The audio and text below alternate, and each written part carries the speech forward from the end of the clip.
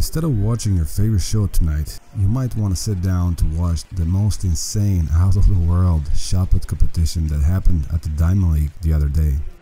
The world record was up in the air, a few of those guys were capable of smashing it easy. This was arguably the most impressive shot put competition in the history of shot putting, the history of sports, the history of the world, I mean, ever.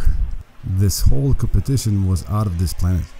These guys put up a show, a kind of a show that even Netflix couldn't make up.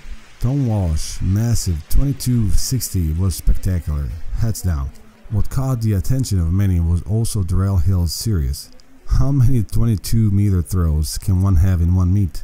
Apparently all six, all within a foot or so of each other. The accuracy, the consistency, this guy is Tiger Woods of put. Darrell Woods, or Tiger Woods is Darrell Hill of golf. Anyways, the point is the consistency Darrell had at this meet with throws over 22 meters is something one needs to sit down, watch, and enjoy. This video is tribute to it. Congrats, Darrell. We hope you'll be the first guy to throw over 23 meters in 21st century. You gotta do it soon though. It looks like few of those guys are eager to do it as well. Best of luck.